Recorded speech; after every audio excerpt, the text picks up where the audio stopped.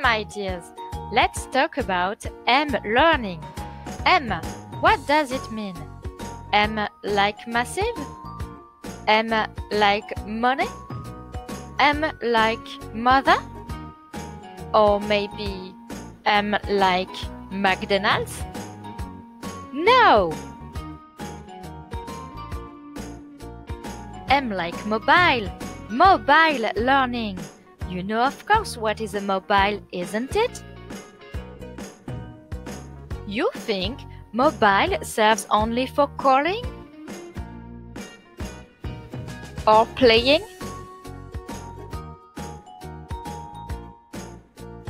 Or maybe taking some photos?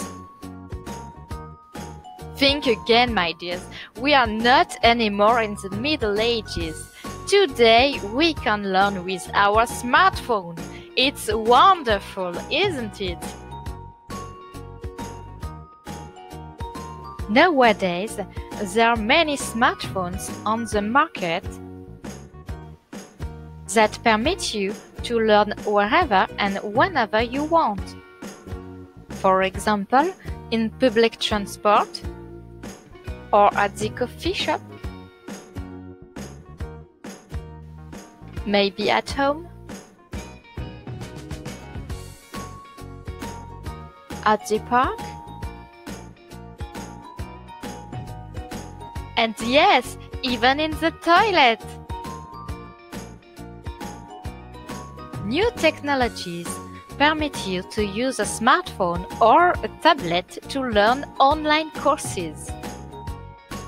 You understood well. Using a tablet is effectively, well, mobile learning. Pay attention, some people say that using a laptop is also M-learning, but you are not agree at all. Of course, you can take your laptop everywhere, but try to open it in the metro or in your bed or in the toilet and you will immediately understood why we will not speak about laptop. It's absolutely not practical. So now it's time to talk about the other points.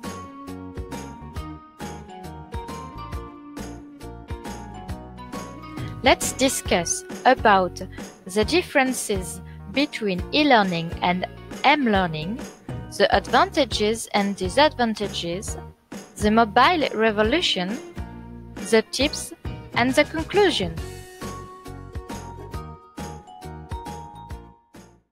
Created using Powtoon.